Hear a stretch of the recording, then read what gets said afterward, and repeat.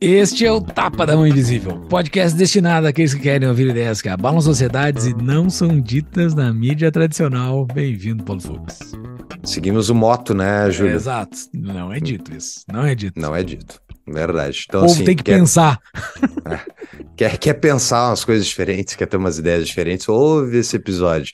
Então, nesse episódio com o Denis Xavier, a gente fala da história da filosofia grega, paralelos da Grécia Antiga com o Brasil atual, quem foi Sócrates e suas principais ideias? E se você pensar, ah, na Grécia Antiga, Brasil, cara, ouve o episódio, tu vai ver porque que tem tanta coisa que a gente pode aprender com o exemplo dos gregos clássicos.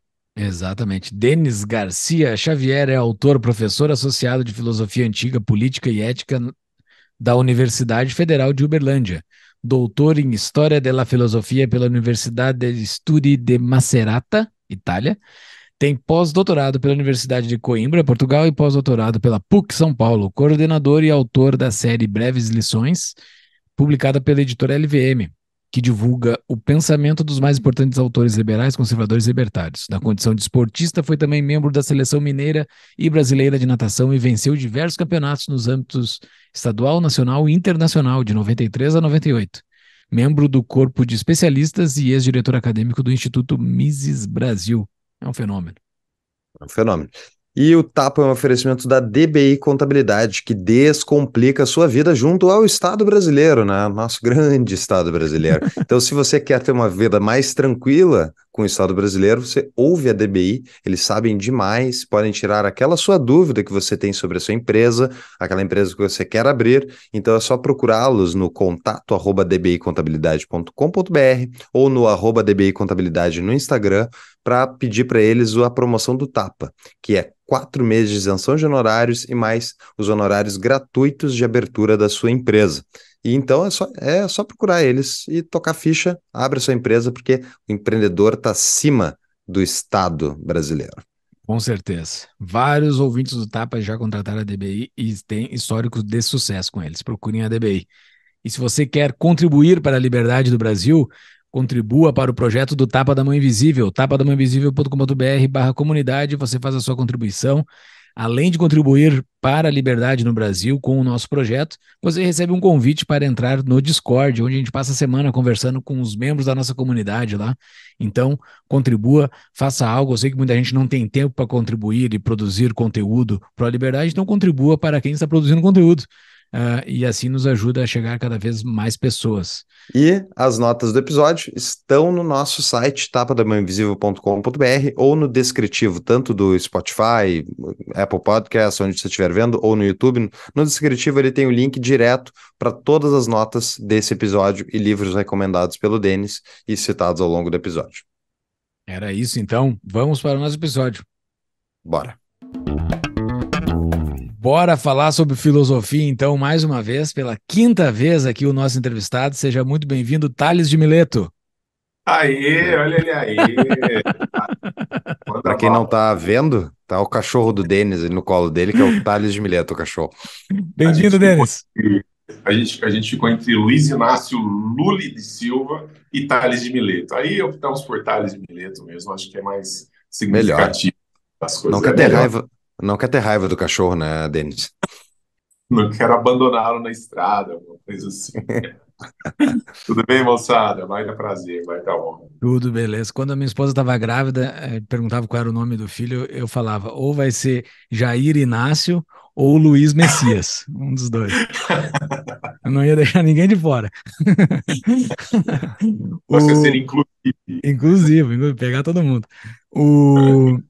Cara, muito obrigado por estar aqui conosco. Vamos falar sobre esse tema que é muito divertido. Eu, eu gosto bastante desse tema. Te escuto bastante lá no, lá no Beyond the Cave, né?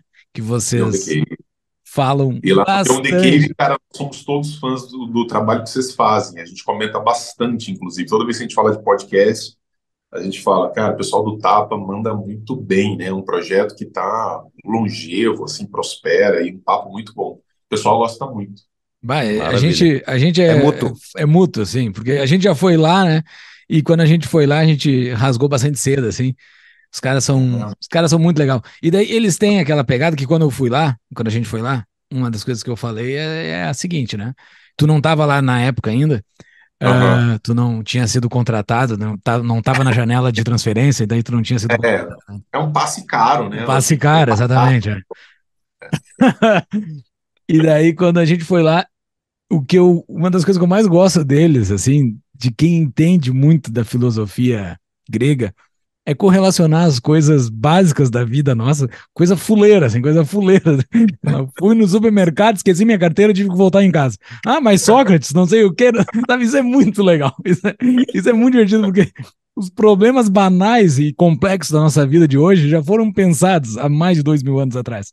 É um Isso negócio... porque você viu os caras sóbrios, na hora que eles ficam bêbados, então é uma coisa insuportável. Tudo isso, tudo. É muito Cara, legal, pessoal. É muito legal esse conhecimento. Eu não, não sou nem de perto, assim, que vocês conhecem disso, assim, e já consigo fazer algumas poucas relações da minha vida sobre essas coisas uh, que os, os grandes já pensaram, Uh, e lá no nosso primeiro episódio que tu teve aqui, que foi o episódio 71, que a gente falou sobre a filosofia clássica e libertarianismo, né? A gente não falou especificamente sobre o tema que a gente vai falar hoje aqui, que são especificamente Sim. os gregos.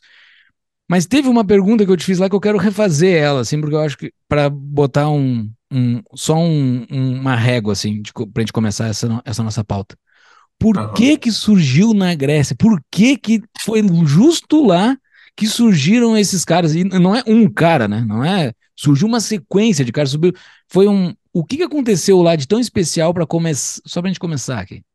É, cara, e isso é uma doideira, porque a gente vive uma época tão absurda, a gente vive um momento tão maluco da história que alguém já disse, né, que no Brasil, mas eu não vou dizer só do Brasil, eu diria que hoje no mundo até o, o passado ele é incerto, né? Você não consegue.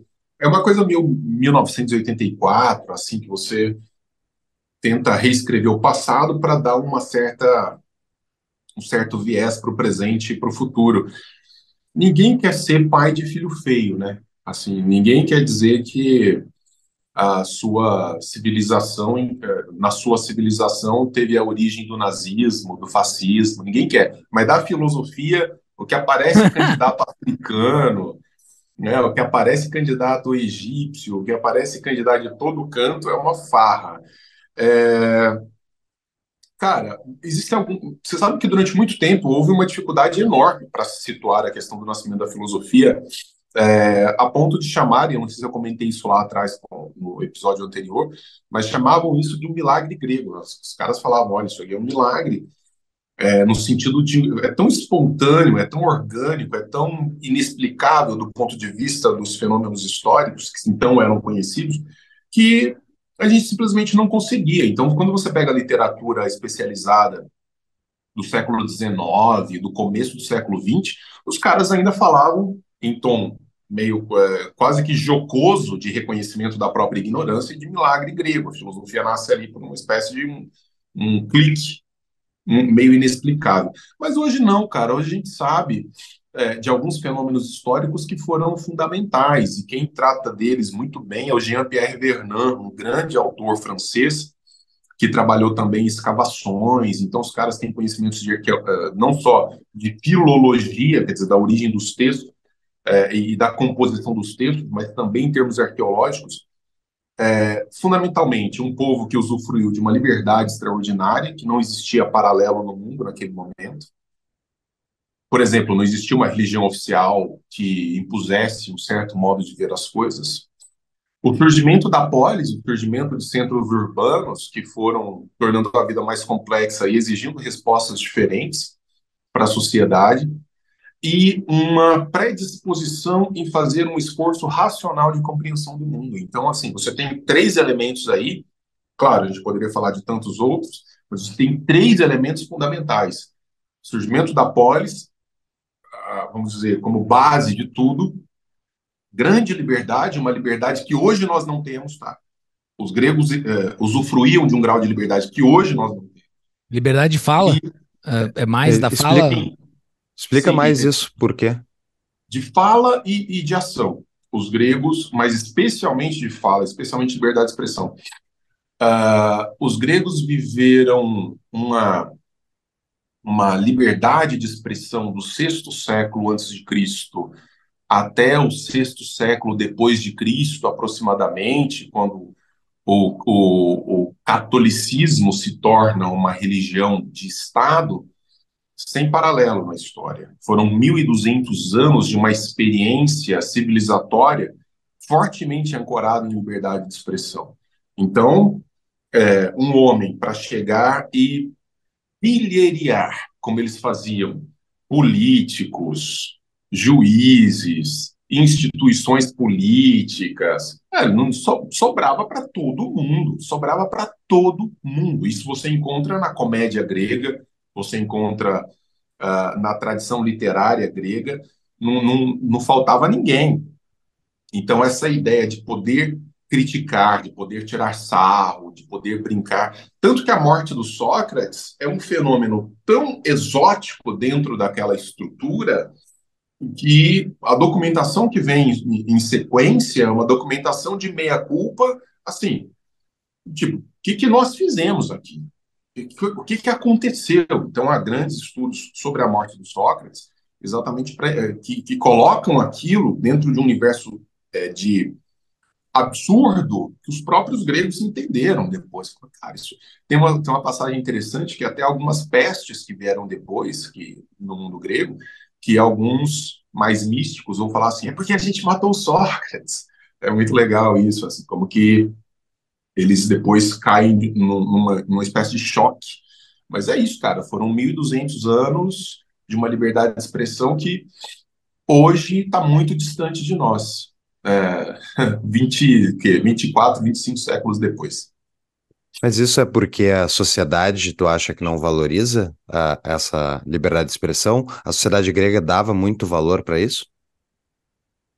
É, a sociedade, Olha, deixa eu contar uma história rápida aqui, que eu, eu contei outro dia num outro bate-papo.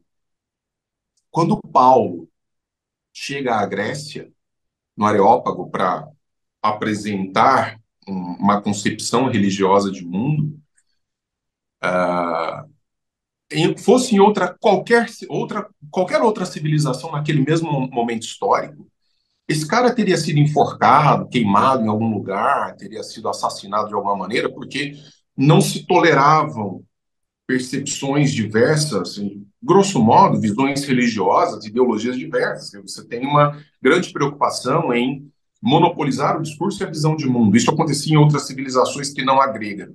Tanto que os outros discípulos, os, os, discípulos é. que foram para as outras foram todos mortos. exato, exato. Assim, não há esse grau de tolerância.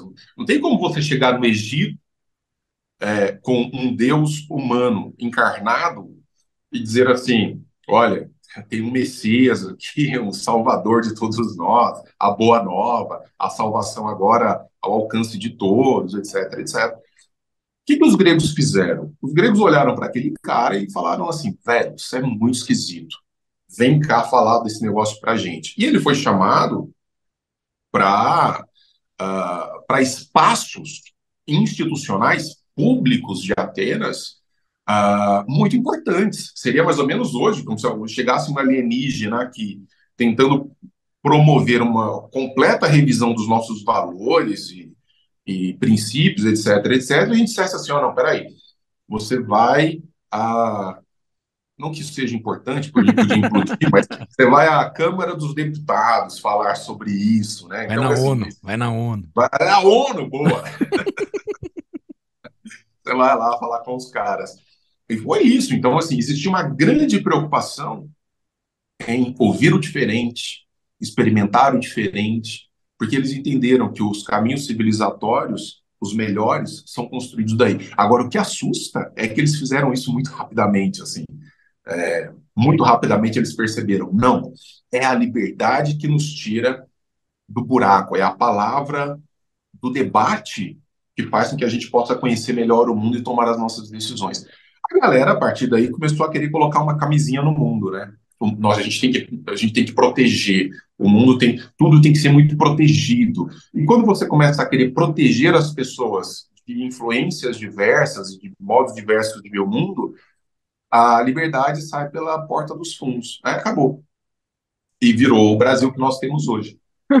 que salto! Que salto! É, deu no que deu. Uma loucura. Essa desgraça, né, você, você, tem que tomar cuidado onde vai, o que, que você vai falar, onde você vai falar, senão você pode ser preso. É uma loucura, né? Uma pausa no nosso episódio. Você quer ser um líder como Winston Churchill? Então conheça as palestras organizadas pela Churchill Society Brasil, focadas em liderança, construção de discursos e resiliência. Para mais informações, além de uma vasta seleção de conteúdos sobre este notável líder, acesse tapadamainvisível.com.br barra Churchill no descritivo do episódio ou no QR Code que está aqui embaixo na tela. E para acompanhar o trabalho da Churchill Society, siga-os no Instagram. Voltamos ao episódio qual é o papel desse contraste, Denis, entre ideias diversas e tal? Porque uma coisa que a gente já discutiu aqui no Tapa mais de uma vez, uh, eu pessoalmente, acho que o Júlio deve concordar comigo, eu acredito que é muito importante a gente trazer ideias que são um pouco diferentes né, para as pessoas poderem ter senso crítico comparando ideias distintas e que só fica na tua mesma bolha, não houve mais nada diferente e só só quer aquilo que tu vai te sentir bem, ah, confortável, coisa boa, tô gostando disso porque eu concordo e tal. Tu vai fechando, né, a tua, a tua visão de mundo e daqui a pouco tu é um pamonha que acredita em qualquer coisa que aquela pessoa te disser. Mas é exatamente isso. Isso é o que aconteceu com as nossas universidades, isso é o que aconteceu com os nossos centros de pesquisa, Uh, isso é o que aconteceu com a nossa sociedade, é uma, é uma, percepção de um homem que não tem coragem, de um homem que quer ser protegido de tudo, de, de todos, de tudo, e, e que é incapaz de lidar com os efeitos de uma vida livre. O, o que mais me admira é que desde os pré-socráticos, por exemplo, o Heráclito vai colocar é o que ele chamava de a luta entre os opostos, a guerra a, a oposição entre as visões como o motor do mundo. Ele vai dizer: olha, não, se você tem só a paz, se você tem só a acomodação numa certa visão, numa certa. Se você estanca a sua posição e está impermeável a todo o resto, não há vida, não há existência. Então, é aquele negócio: eu tenho uma fé é, eu tenho uma visão de fé, eu tenho uma visão de mundo, quando é que ela se solidifica, quando é que ela se consolida ou não? Quando ela se deixa aberta para outros debates, para outras influências, para outros modos de ver. Às vezes eu tenho uma atuação pública, né, como professor de filosofia, o cara fala assim: puxa, mas se eu ler esse texto aí, ele vai mexer com a minha fé? Eu não queria fazer isso. Olha, olha o grau de obtusidade. Quer dizer, eu tenho que ler alguma coisa, mas isso não pode mexer com a minha sensibilidade a ponto de eu mudar o meu modo de ver as coisas. O cara já se colocou na condição de animal de pasto de, de ou de curral é, para ser tocado de cá para lá e ele quer conforto, ele não quer é, visões diferentes para aperfeiçoar essas visões. Então, cara, uh, você poder debater livremente. Como é que você tem avanço na ciência? Como é que você tem avanço na cultura? Como é que você tem avanço na civilização se você não tem a possibilidade da ruptura? A ciência não avança sem ruptura. Cultura não avança sem ruptura. Só um parênteses, Júlio, eu te passo a palavra. É só, eu acho que até o próprio mercado e as empresas representam isso porque elas são maneiras diferentes de expressar algum produto, alguma realidade. Tu tem mais de uma opção para escolher. É melhor, né? É melhor do que se for só um monopólio estatal ou privado mesmo. É melhor tu ter opções. Fica mais fácil de tomar uma decisão sobre o que, é melhor para ti. E estar aberto à ruptura da quebra, da, do cara quebrar o, o antigo produto que não serve mais. Só lamento, meu amigo. É. quebrou nesse exato momento e agora surgiu um é. novo. acho muito estranho, cara, porque a gente vai perdendo é, um patrimônio extraordinário de. Vocês têm que chamar um cara aqui. Eu não sei se eu já comentei isso com vocês. Vocês têm que chamar um cara aqui. Ele é, hoje ele é professor de física do, da Universidade Federal do ABC. Eu não sei até se vocês já chamaram e eu perdi, comi essa bola. Mas o nome dele é Vladimir Perchini. Não chamamos. Está na nossa lista. Então, cara, tem que chamar. Esse cara, ele viveu o fim da União Soviética, ele estava lá é um russo, viveu a queda. Então tem foto dele com o um negócio do Partido Comunista, não sei o que, ele viveu aquilo lá. E um dia eu bati um papo com ele, ele falou, eu perguntei assim, cara, por que vocês não questionavam o regime? Por que vocês não se opuseram ao regime? Existia esse movimento lá dentro, assim, no, no centro comum, na população? Aí ele me deu uma resposta que eu nunca mais vou esquecer na vida. Ele falou assim: não, porque a gente não tinha nem vocabulário para isso. A gente não tinha vocabulário, o que significa dizer, a gente não tinha universo mental para expressar um modo diferente de ver em relação àquilo que nos era dado. O que acontece com o fim da liberdade, especialmente da liberdade de expressão, que vai ancorar todas as outras liberdades, é que nós vamos perdendo o a arquitetônica mental, a gente vai perdendo o vocabulário, a gente vai perdendo a capacidade de pensar de forma diferente, de modo que amanhã não é mais uma alternativa pensar X ou Y. A alternativa desaparece. Ela desaparece do nosso mundo. O nosso vocabulário vai diminuindo. O nosso universo mental vai se atrofiando com a ausência da liberdade. Não, você não pode dizer tal coisa. Não, você não pode ir por aí. Não, você não pode pensar tal coisa. Você não pode pensar dessa maneira. Não, não, não. O seu universo vai não, não, não, fechando, fechando, fechando, fechando, a ponto de você ou concorda com. Desculpa, vou até reformular. Não é nem concordar ou não com uma coisa. É só a coisa que você conhece. Então não uhum. depende mais de concordância ou discordância. É só aquilo que você vê.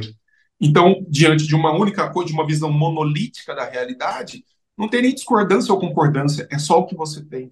É uma doideira isso. E conectando com a tua resposta sobre o que, que tinha na Grécia, lá nessa, nessa, nessa, nesse momento, uh, uma das coisas que você falou era aquele processo de debate que existia. Né? Ser humano, uh, ser humano não, mas qualquer ser vivo reage a incentivos, né? Uh, até as plantas reagem a incentivos. Uhum. E os seres humanos reagem a isso também. E uma Sim. das coisas que ocorria naquela época, naquela sociedade, é que o sistema de poder ele ele avançava de acordo com o debate, né? Não era pela força. Isso é Sim. algo assim que é inacreditável tu pensar hoje. Hoje no Brasil, o Brasil hoje ele, ele avança pela força, ele não avança pelo debate. Não, não tem não tem conversa, né? Quem é o mais forte que manda. Lá ia pelo debate. E foi por esse debate dessa política que já existia pré-filósofos, isso era antes dos filósofos, né? Uh, esse método arranjo político governamental de que aquele que falava mais poderia convencer mais então foi esse esse essa essa coisa que incentivou eles a pensar bastante, porque daí tu ia cada vez mais aprofundando dentro daquilo que tu estava argumentando, porque não, esse cara tá falando uma besteira. Ah, por que, que esse cara tá falando uma besteira? Porque isso é uma besteira. Foi daí que surgiu, ah. assim?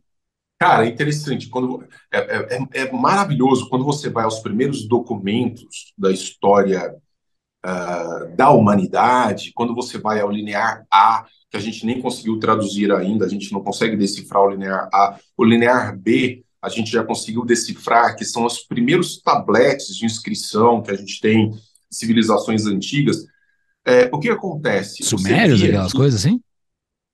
É, são os, são os pré-gregos, na verdade, são, são os, os micênicos que depois vão dar origem lá na frente à Grécia. Uhum. Mas quando você pega os, os tabletes micênicos do linear B, as estruturas que estão montadas são todas estruturas palacianas. Então, Julião, não havia essa liberdade de questionamento, porque o rei do palácio, o rei da estrutura palaciana, ele, ele usufruía de um estatuto superior é, muito parecido com o que a gente vai ver nas outras civilizações quando a Grécia começa a fazer filosofia, que é o cara acumula, acumula poder político, poder religioso, poder administrativo, cultural, tudo gira em torno dele. Então, o que ele diz é uma palavra sagrada. Na Grécia, pós-civilização é, micênica, o mais próximo que nós tivemos disso foi a palavra sagrada do poeta. O poeta, que era aquele cara que cantava, né? Todo começo de poesia grega, você pode ver, Ilíada, Odisseia, o cara começa lá, canta, ó Deus, canta, ó musa, aqui no meu ouvido. Então, os poetas gregos, eles tinham uma palavra sagrada. Era o contato direto com os deuses, e então aquele conhecimento era repassado. De, com o surgimento da cidade, sétimo século antes de Cristo, com o advento da polis, e esse é um advento muito importante, A palavra sagrada, a palavra religiosa, começa a ser questionada nos seus fundamentos.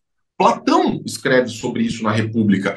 Por que, que eu aceito a palavra do poeta como uma palavra inquestionável? Se o fundamento da palavra do poeta é aquilo que ele chamava de divina mania, de divina loucura. Um cara entorpecido falando uma poesia e eu tenho que aceitar como verdadeiro, porque contato divino, aquilo que está saindo da boca dele. Não, Platão já desceu o corrente nisso. Então a palavra deixa de ser sagrada e passa a ser a palavra do debate, palavra da discussão, a palavra do por que, que você acha isso melhor. E daí você desenvolve capacidades retóricas extraordinárias, você desenvolve. Então, brother, eu vou te falar uma coisa. Antes da filosofia, antes do advento da filosofia, o que você tinha é o império, de formas diversas, da palavra sagrada, da palavra do poeta e antes ainda da palavra do rei, que eles chamavam de Anax. Anax era um fodão. É muito interessante como que já em Homero, mesmo sendo aquela estrutura da palavra sagrada, você tem, por exemplo, alguns questionamentos que no período do Anax, na pré-história grega, eram impensáveis. Por exemplo, Aquiles chegar em Agamemnon, o termo Anax já desapareceu, eles começam a chamar reis de basileus, começa a surgir o termo basileu. Então, o, chegar um guerreiro como Aquiles, chegar no, num basileu como o Agamemnon, por exemplo, o rei de todos os reis da, da liga, e falar: você é um bosta. Eu vou para a guerra e você fica aí pegando as minhas coisas e não sei o quê. Você é um cuzão. Isso é impensável, cara. Poucos séculos antes. Já, e aí você já vê um processo de dessacralização da palavra, a palavra como debate, a palavra como questionamento. E isso vai para o mundo da polis assim de maneira avassaladora. Então, é uma pena que a gente tenha voltado a uma condição de, de gado, de seres é, medíocres, incapazes de aceitar o, as opiniões que nós consideramos estrúxulas. Elas têm que ser silenciadas. Voltamos aos, aos, aos, aos micênicos lá, voltamos aí. Alexandre de Moraes é o quê? É um Anax. Desculpa, cara, isso é verdade. Ele diz o que pode e o que não pode sozinho. Exato. Sozinho. Sem apelo. E, ai, ai, é um exagero. Não é um exagero, isso é um fato, cara. Por que, que esse, esse podcast ainda existe? Ele quer. é pequeno demais para ele notar. É, por enquanto é isso. Eu, eu, falo que até agora eu não fui silenciado por causa da minha irrelevância. Uhum. Porque se, se fizessem alguns cortes aí das minhas falas, eu já poderia estar preso. Preso. E não é falar que eu sou um radical nem nada. Simplesmente Mas... que posições. O que me surpreende realmente não é o fato de ter gente que quer uh, amealhar o poder dessa maneira e quer se tornar referência, quer impedir os outros de falar isso. É, a filha da putice é inata ao ser humano, então tem, tem sempre isso acontece. Mas realmente a população tem uma parte significativa da população que apoia que acha que isso é correto, e inclusive tem outros do outro lado que se fosse o cara deles, eles também estariam apoiando. Sim, que que, qual é a condição humana inata que dá é, que é essa característica, Denis? Por que, que isso acontece de ter gente que adora ser gado? Cara, eu acho que você sabe quem vai poder responder isso e que vai caminhando nesse sentido, uh, os estudos em neurologia. Eu não acho que a filosofia vá conseguir responder a essa questão sozinha. Eu vou, eu vou ser muito honesto. Eu já pensei um dia que a filosofia pudesse dar conta disso, desse fenômeno. Mas eu não acho que seja só isso. Deve ter alguma coisa é, de plasticidade cerebral, de funcionamento cerebral, que leve uh, a essa paixão cega e irracional por controle e por submissão ao mesmo tempo. É, eu só sei de uma coisa, só sei de uma coisa. Para você se tornar um bom defensor da liberdade, você precisa atingir um grau de lucidez derivado de processo formativo educativo que não é simples, não é banal. É muito elaborado. Tanto que alguns dos ambientes mais coletivistas que eu já frequentei foram movimentos liberais. Paradoxalmente. Porque você Explica. vê que os princípios não estão postos. O que está posto é um discurso de verniz. É um discurso de. No momento mesmo em que você coloca a coisa do ponto de vista prático, assim, agora a gente tem que tomar uma decisão, você vê que os princípios vão embora, eles desaparecem. A questão é: nós vamos controlar melhor do que eles. Nós vamos fazer uso melhor do dinheiro do que eles. Nós vamos. E aí vira projeto de poder. É... Eu, eu, eu acho que só a filosofia não vai dar conta disso. Que existe algo aí de reptiliano no cérebro, eu não sei que vai nos, nos, dar uma explicação. Essa questão da neuroplasticidade é muito interessante, o modo como que uma vez incutida uma ideia, como é difícil desfazer essa ideia, e, e vai muito nesse caminho, cara. Mas, mas me assusta muito. Eu, eu, eu, tô, eu, eu brinquei outro dia que eu não avalio mais uma civilização pela, pelo seu grau de evolução econômico, ou evolução econômica, pela sua cultura, pelo seu... É, o, o, o melhor termômetro civilizatório é o grau de liberdade e de verdade que você pode suportar numa civilização. Quanto a isso, os gregos são absolutamente imbatíveis. Sócrates fez filosofia dialogando, Platão fez filosofia dialogando, Aristóteles teve a sua escola de filosofia recebendo influências do mundo inteiro, patrocinado por Alexandre o Grande. Viajar eu queria ter dito isso antes. Viajar era um elemento fundamental para fazer filosofia na Grécia. Platão foi diversas vezes ao sul da Itália conhecer aquilo lá. Os filósofos antigos viajavam muitíssimo, porque não era uma questão de vou passar férias. Quero saber o que esses caras estão pensando. Como é que eles pensam isso lá? Como é que é a cultura desses caras? E quanto mais a gente se fecha, mais a gente se perde nesse sentido. Uma pausa no nosso episódio. Quer mais liberdade e menos impostos? Conheça a CETI. A CETI é uma consultoria especializada em imigração, nomadismo, offshores e cidadanias, cobrindo mais de 75 países. Junte-se a mais de uma centena de clientes e viva a vida dos seus sonhos enquanto não dá mais um centavo ao Estado e de forma 100% legal. Entre pelo link no site tapadamãoinvisível.com.br barra bandeiras ou quem está assistindo pelo YouTube, é só acessar o QR Code na tela, porque a tua vida te pertence. Voltamos ao episódio. O... Vou botar nas notas do episódio uma thread, num fio no Twitter do Rodrigo da Silva do Spotniks sobre o Alexandre, o nosso careca aí. E é como a grande inspiração do Alexandre é o Alexandre o Grande, né? E é, é a megalomania, a megalomania dele de querer, sabe, ser comparado a esse cara. Mas entrando no, nos nossos, nos gregos aí da que a gente tinha conversado de fazer da pauta, o Sócrates é talvez a base de muito desse pensamento.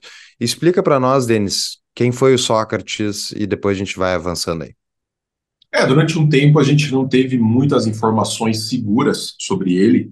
Sócrates é um cara que nasceu ali por volta de 470 a.C., morre num, numa, numa situação bastante conhecida, talvez seja o julgamento mais conhecido da história, ao lado do julgamento de, de Jesus Cristo.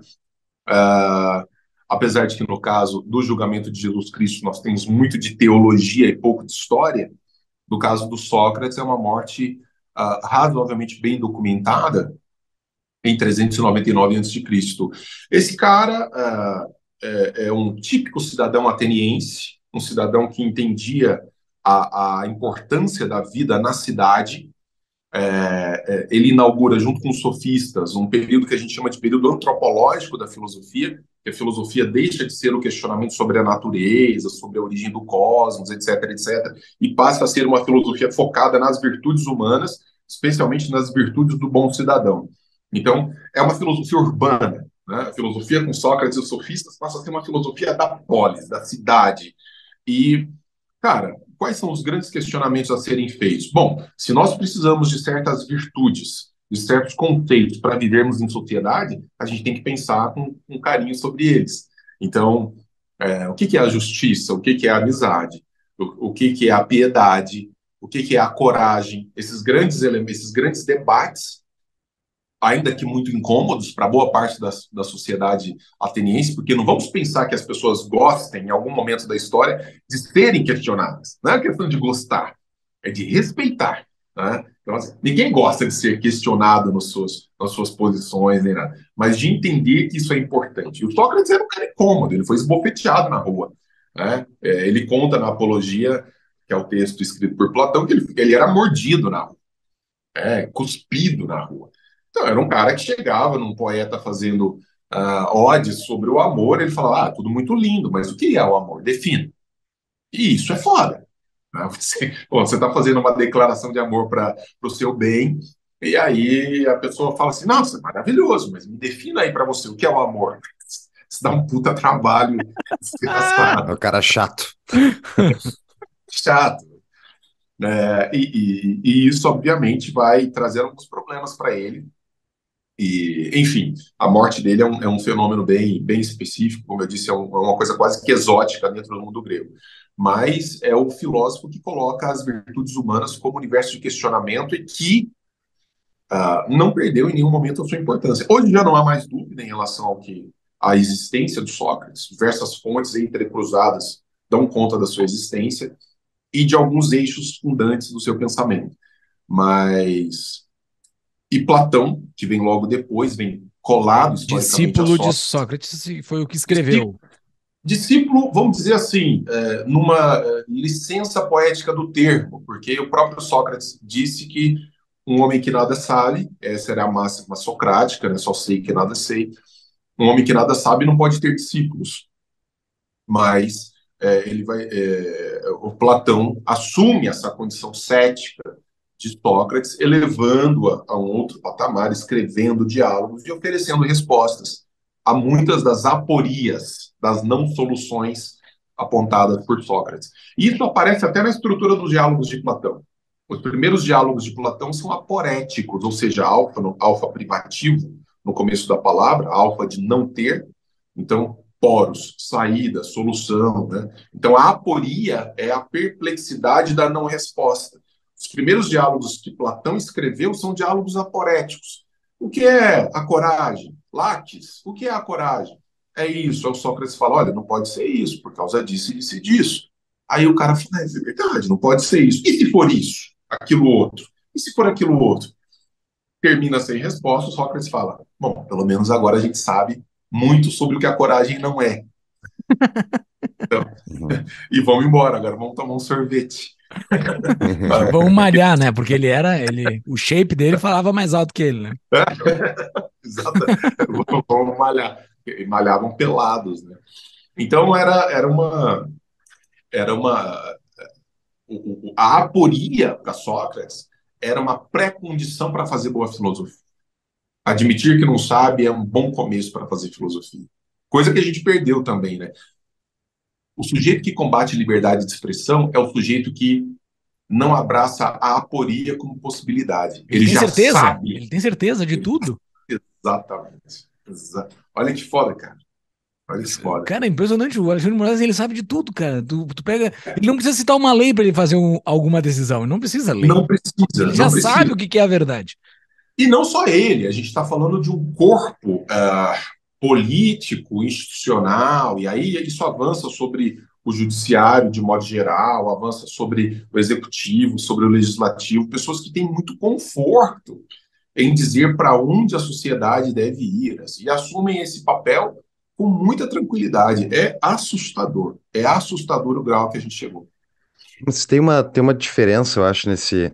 Uma coisa assim, é, posso aqui dizer, eu, eu digo, volta e meia, por exemplo, Banco Central, o maior mal já inventado na história da humanidade em termos de efeitos nefastos na sociedade.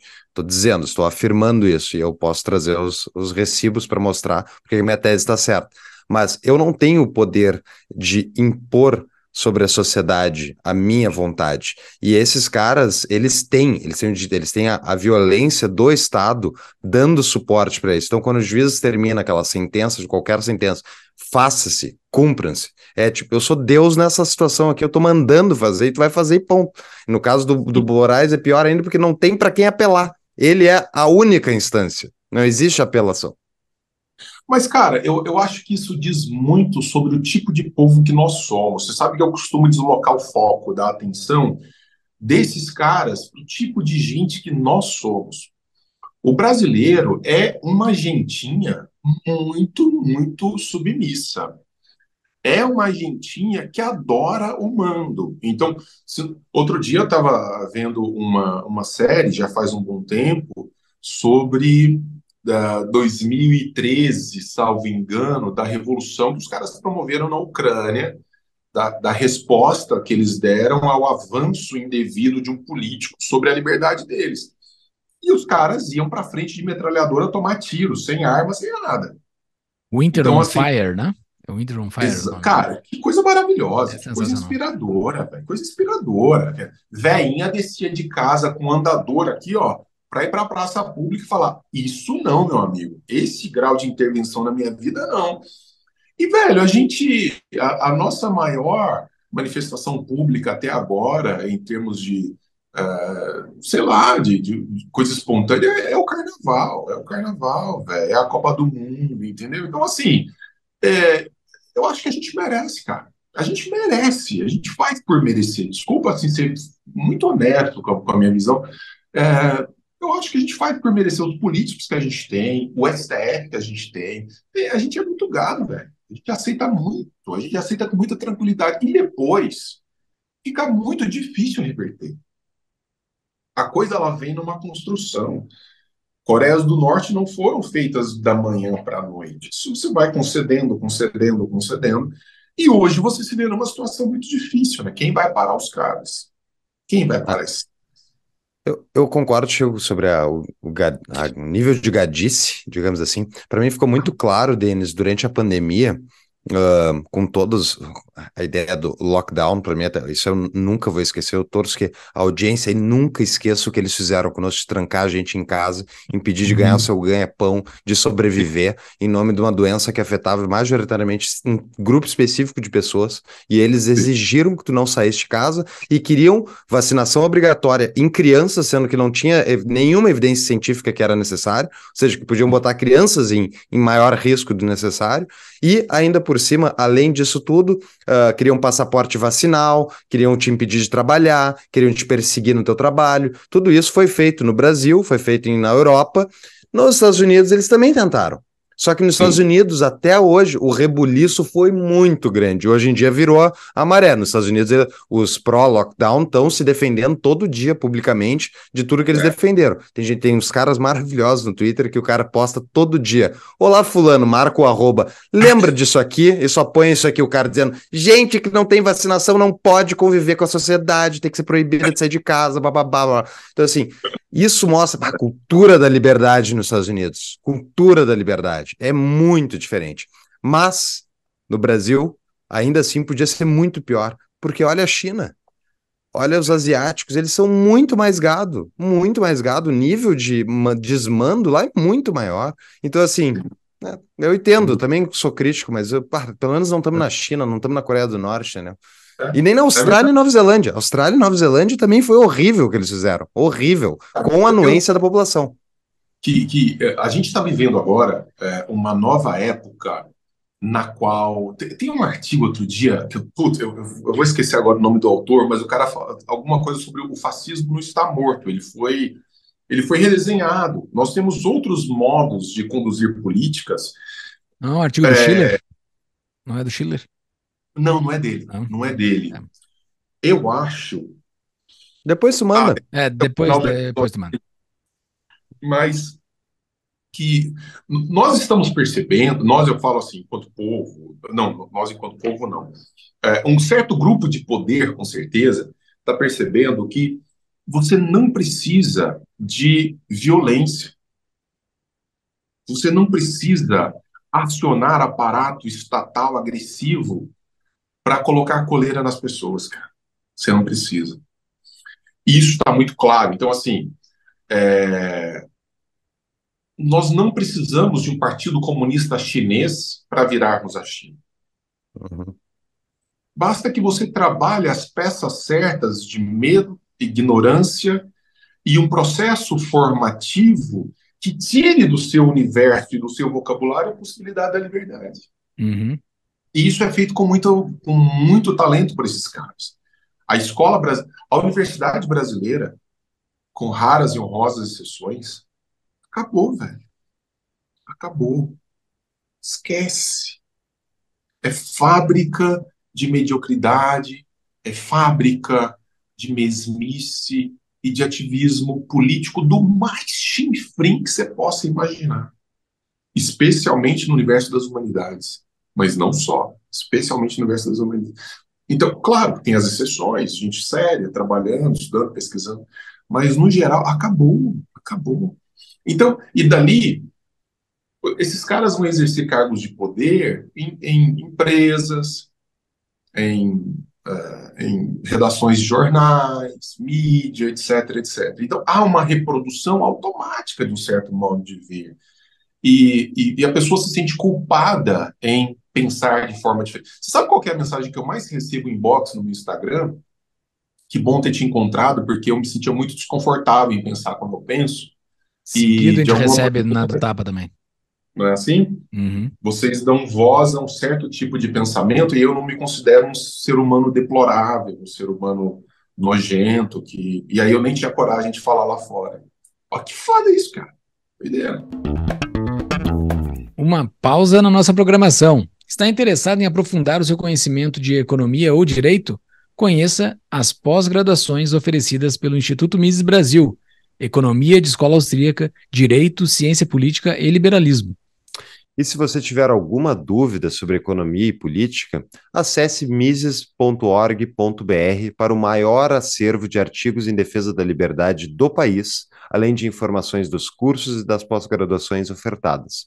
Lá você também tem informações para ser um membro do Clube Mises. Ajude a difundir ideias da liberdade e a construir um Brasil mais livre. Voltamos ao episódio.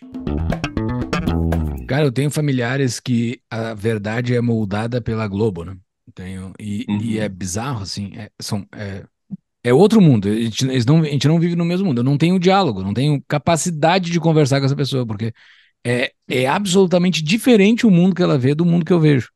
Porque, e eu, sei lá, eu já não moro mais no Brasil, mas quando morava eu já não assistia mais Globo. Mas das raras vezes que eu assisti, agora quando eu fui em abril, eu assisti algumas vezes é bizarro, assim, é, um, é um, uma panfletagem política de cabo a rabo. Aquele jornal da manhã que eu tava no hotel, ou, ou assisti um pedaço daquele jornal da manhã, é uma panfletagem é, é, o Bolsonaro é o diabo e o, Deus, e o Lula é Deus, entendeu? E as, ambas as coisas estão erradas, entendeu? E, e, e, o contrário de ambas as coisas também é errado. Não é o contrário disso, é outra coisa, sabe? Não, não há linguagem. Não é que Bolsonaro é Deus e Lula é o diabo. Também não é isso, é outra coisa, sabe? Não, não há diálogo naquilo, não há. É, é panfletagem. Quem só olha isso tá com a cabeça completamente esvaziada. Você não consegue ter um. É, vai lá pro o cara do soviético que tu citaste que não tem diálogo, ele não tem linguagem suficiente para dizer, não, isso que eu tô vendo é outra coisa, não é isso, entendeu? O que mais me chateia, você sabe que é isso, é, é o nível. É o nível. E eu tomei uma decisão, inclusive na minha vida pessoal, que uh, expõe bem a minha visão sobre o que vem por aí. Eu decidi não ter filho, cara. Eu decidi não ter filho. Então, assim, eu trabalho manhã, tarde e noite para ajudar a criar uma outra mentalidade no Brasil, em especial, mas mesmo sabendo que não é uma característica própria do Brasil, mas aqui, né, é a nossa terra, é o nosso mundo, é a nossa, é a nossa realidade. É, alguém já disse isso antes de mim, né? Não, não se trata de, de, sair daqui, apesar de que eu acho que é, uma, é, um, é um baita passo interessante, mas de, também de tentar mudar isso daqui. E o Júlio, mesmo estando fora, continua trabalhando pelo Brasil, fazendo o que ele faz. É... Mas, cara, eu tenho vergonha do nível. Então, quando eu assisto assim, a gente está falando Globo News, mas as, as mídias de modo geral, são pessoas de tal maneira despreparadas intelectualmente tem um, um, um desprezo pelos conceitos, pelas ideias. Você não, isso aqui agora está muito interessante. Como tem uma ameaça, aspas na ameaça, do Milley na Argentina, os caras já começaram a soltar notinhas sobre anarcocapitalismo, libertarianismo, sempre, obviamente, depreciando, coisa que nunca fizeram. Ultradireita, sabe? É muito, é muito banal, cara. O nível é muito. Então eu tô cada vez mais me refugiando nas coisas da filosofia para me manter são, velho. Vou te falar. Eu tenho a minha sociedade de estudos de filosofia, os meus grupos, porque é uma questão de sanidade mental. Eu vou para a universidade? Vou para a universidade, eu preciso me alimentar. Mas eu vou, faço o que eu tenho que fazer. Eu entro pelas portas do fundo, saio pelas portas do fundo, porque tá impossível, cara. Tá irrespirável mesmo. Assim, o nível é muito baixo. E aí o que mais me angustia é que quando eu vou aos gregos, o, o respeito pela palavra, o respeito pelo conceito, o grau civilizatório do debate, mesmo para fazer piada, assim, mesmo os caras têm um nível, velho, que é um negócio é muito diferente. Então a gente tem um livro chamado Paideia, esse aqui, ó. Eu estou trabalhando com ele há, algum tempo. Esse cara aqui viveu a, a, a Alemanha pós-guerra. Eles estavam muito perdidos. A Alemanha pós-guerra estava de joelho, tinha que se encontrar. Esse cara escreveu esse livro, ele bebeu na Grécia lições para apresentar aos alemães, para falar assim, olha, houve um tempo aí atrás que os caras pensaram melhor do que a gente os nossos problemas. Vamos, vamos inspirar neles. Por isso que eu falo tanto de filosofia grega, cara, porque eu acho que tem muito ali que a gente podia beber e podia aprender com eles. Vou te falar. Se tu fosse fazer agora, por exemplo, uma grande aula magna para o Brasil inteiro te assistir, Denis, tu tem uma hora para falar para os brasileiros conceitos básicos que tinham na Grécia que a gente não aplica, que a gente poderia aplicar. O que que tu falaria para os brasileiros? Cara, olha, eu daria uma aula sobre apreensão racional da realidade, de uma postura absolutamente cética em relação às coisas, porque a racionalidade é a faculdade que te leva à possibilidade de construir perguntas céticas. Nós brasileiros, em especial, nós não aprendemos a fazer perguntas céticas. E se você não sabe fazer perguntas céticas, você se torna vítima do primeiro charlatão que vai aparecer na sua frente. Na religião, na política, na cultura, na justiça, no que for. É, e mostraria isso, e voltaria à Grécia para dizer: olha como esses caras fizeram, olha como eles tiveram condições de desenvolver isso, e olha os benefícios que eles extraem daí. É, voltando à questão do cérebro, né? Talvez quando a gente aprender mais sobre o funcionamento do cérebro, a gente saiba estimular mais alguma coisa ali. O que nos sobra hoje? Processo educacional. Hoje é processo educacional, que a gente não tem. A gente não tem. Então, nesse processo educacional, perguntas céticas ancoradas em racionalidade e apreensão de uma liberdade individualista, que coloca o sujeito como razão de ser da existência dele próprio, eu, eu apostaria nessas três coisas para falar uma hora ali e tentar é, trazer algum tipo de informação útil. Mas, de novo, uh, esse espaço hoje ele nem existiria, né? ele nem existiria, né? e eu falo assim, metaforicamente, em nenhum lugar que tenha uma repercussão mais interessante, porque pessoas assim não são benquistas, né? pessoas que falam essas coisas não são são, como diz o Thomas Sowell, a gente virou representação do mal para essa galera. É, não é só uma questão de ideia diferente, é que você encarna uma visão pecaminosa da vida. Uhum. E essas três coisas estariam ancoradas nos, nos gregos. Uh, era o que defendia Sócrates, Platão. O que acontece, velho, é que muita gente imagina que o fato de ser individualista, de uh, entender a importância de uma visão egoísta, no sentido de autointeresse, de autopreservação, que isso tem a ver com uma oposição à vida em sociedade. Antes, pelo contrário. Nós somos seres gregários. Vocês fazem coisas que eu não sou capaz de fazer e vice-versa. E nós usufruímos dessas coisas. Eu usufruo do que vocês são capazes de fazer e que eu não sou. Então, é, esse é o sentido da, esse é o sentido de eu não sair da vida em sociedade e ir para uma caverna e tentar sobreviver, que seria muito mais difícil. Então, nós somos animais políticos, nós somos seres da, da sociedade. Agora, o grande problema é quando nós colocamos a vida em sociedade como uma desculpa ideal para impor a visão de determinados indivíduos a essa sociedade. Então, o que, que a força política deve preservar? O que, que a força policial deve preservar? O que a força judiciária deve preservar? A liberdade de autodeterminação dos indivíduos, especialmente no pensamento. É, se isso for ameaçado por uma visão monopólica de um indivíduo em relação ao outro, perde-se inclusive a razão de ser da vida em sociedade, porque daí você não usufrui da boa condição da vida em sociedade, você passa a ser simplesmente escravo, servo, você passa a ser mão de obra para a realização de algumas visões com as quais você eventualmente nem concorda. Então, é, é, essa é a coisa triste que a gente não aprendeu com os gregos, que a gente não aprendeu com Platão. E Platão faz. Cara, eu estava dando uma aula outro dia. Se eu conseguisse puxar aqui rapidamente o que lá, Aristóteles, tá? Aristóteles livro Alfa da Metafísica de Aristóteles. Eu vou colocar os óculos, porque afinal de contas eu já sou um homem que caminha para uma idade deletéria. Ele fala o seguinte: eu estou citando o livro Alfa, capítulo 2 da, da Metafísica de, de Aristóteles. Ele fala assim: os homens começaram a filosofar agora, como na origem, por causa da admiração por causa do espanto. Na medida em que inicialmente ficavam perplexos diante das dificuldades mais simples. Olha, moçada, o que, que é, por que, que a gente filosofa? Porque a gente se depara com coisas que nos deixam perplexos. A ausência de liberdade tira a perplexidade do cálculo. Certo? A ausência de liberdade é a possibilidade de um conforto de tal forma absoluto que a perplexidade desaparece, o espanto desaparece. O quê? Você está me falando desse negócio mesmo?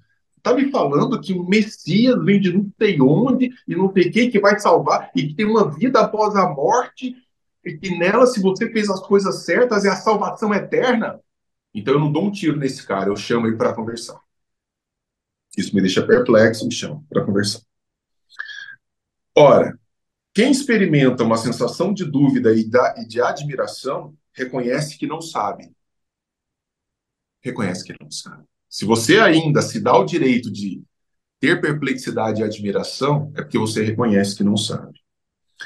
E é por isso que, que também aquele que ama o mito é, de certa forma, filósofo.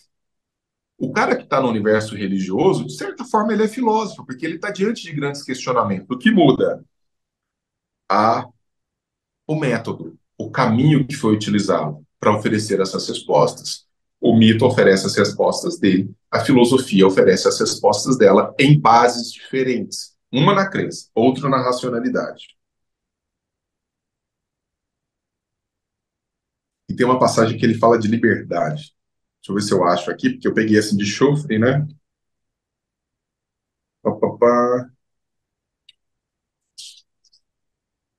É. Aqui, ó, para acabar é evidente que, como chamamos livre o homem, que é fim para si mesmo e não está submetido a outros, assim só esta ciência, a filosofia, dentre todas as outras, é chamada livre, porque ela é um fim para si mesmo. Só um homem livre pode fazer filosofia. Só um homem livre pode se deixar espantar. Só um homem livre pode se deixar uh, frequentar as coisas da perplexidade. Só um homem livre pode vivenciar a aporia. Se colocar diante de uma questão e falar assim: que? Eu não consigo responder esse negócio agora, velho. Mas o fato de você não conseguir responder agora significa só uma coisa: não que você deve silenciar a aporia, não que você deve silenciar o questionamento, mas que você deve retroalimentá-lo. Pergunta cética. Eu só consigo. Por que a pergunta cética é importante, ancorada na razão? Eu só consigo responder aquilo que de fato eu consigo responder. O que eu não consigo responder está gritando o tempo inteiro. E não para de gritar porque eu corto a cabeça. Continua gritando. O que, que tem lá fora? Por que, que as coisas são assim? E a nossa vida é essa, cara. A nossa vida é uma, é uma vida da dúvida, dos questionamentos. O conforto excessivo gera pessoas conformadas, pessoas que não aceitam a vida livre. Mas é. Aristóteles esse... e o filho. Aristóteles puta que pariu, 25 séculos atrás. Uhum. Porra, E- foda. Mas esse conforto que a ignorância permite, essa é uma escolha que muita gente muito racional tomo- tomou, né? Que ela se enfrenta, ela vê essas perguntas todas e ela diz, olha, eu vou fazer outra coisa, eu vou jogar videogame, eu vou me Sim. preocupar com outras coisas. E tem aquela, tem aquela, ignora, ah, tem aquela frase, né? A ignorância é uma benção. Mas isso é. aí tem, muita, tem gente que, que acredita nisso mesmo. Ahn, Mas como não é, que- viu, Paulo? Não é crença, cara, é porque é. A ignorância é, uma bênção. A ignorância, ela traz um conforto. Ela tra- Então, assim, eu não vi, eu não sei, eu não quero saber.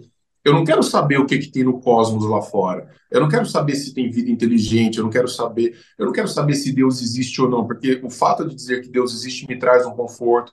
Eu acredito que exista um grande fantasmão, um grande fantasmão coordenando elementos da minha vida aqui embaixo, dando sentido a essas coisas. Ok, ok. E quando eu questiono isso, não é para atacar a sua fé. É um questionamento legítimo. Um questionamento legítimo. Então, grandes pessoas, por exemplo, um São Tomás de Aquino da vida, na sua suma de teologia, na sua suma contra o gentio, tenta provar racionalmente a existência de Deus. Mas É, é um desejo de buscar uma força que coordene todas as coisas. Existe mesmo? Quais são as evidências? Quais são as evidências? As pessoas estão um pouco dispostas a fazer essas perguntas, porque realmente ninguém disse que seria fácil. Só que seria melhor. Mais fácil não é. Não, perfeito, mas ahn, se tu é completamente ignorante e tu, e tu gosta da tua ignorância e tu não quer aprender nada, te recusa, tu, por exemplo, tu não vê os, sina os sinais claros de que, por exemplo, longo prazo no Brasil pode ser bem tumultuoso, que tu tem que te preparar para isso, tem que te defender, talvez levar dinheiro para fora, talvez mandar teus filhos estudarem fora, coisa do tipo. Tu tá, se tu tá ignorando toda a realidade, tu vai sofrer as consequências de ignorar a realidade, né? Então, como diria Ayn Rand. Então, ah, é uma benção mesmo? Ou é, ou é só uma, é um, é um, um tapa-visão no momento, mas que vai te gerar consequências negativas no longo prazo? Olha, eh, depende do que você vai considerar eh, uma, uma consequência negativa. Por exemplo, liberdade de expressão ou liberdades individuais. Isso não, é, é importante para todos nós. Mas para alguém que se dispõe a conceder essa liberdade versus um controle do qual essa pessoa nem está ciente, é uma troca para ela interessante. Então, assim, vamos falar seriamente. Quem ouve o tapa? Uma elite intelectual. Ponto. Quem está discutindo esses temas? Uma elite intelectual. Ponto. E uma Muito parte da restrito. elite, né? É, É, uma parte, parte, da elite. elite. Uma parte da elite, que tem um certo grau de consciência, etc. etc. O mundo lá fora está preocupado com isso? Não está. Eu acabei de chegar de uma viagem no Rio de Janeiro. Cara, você olha aquilo, fala assim, será que aquelas pessoas assim que estão lá nas comunidades, sei, será que elas estão realmente preocupadas com, ah, não, porque a liberdade, a liberdade dos indivíduos. O cara sai, ele pisa no esgoto. Ele sai, ele é acordado por troca de, de bala, de tiro. É, segurança é um negócio, é uma metáfora, é uma, é uma história, é um negócio.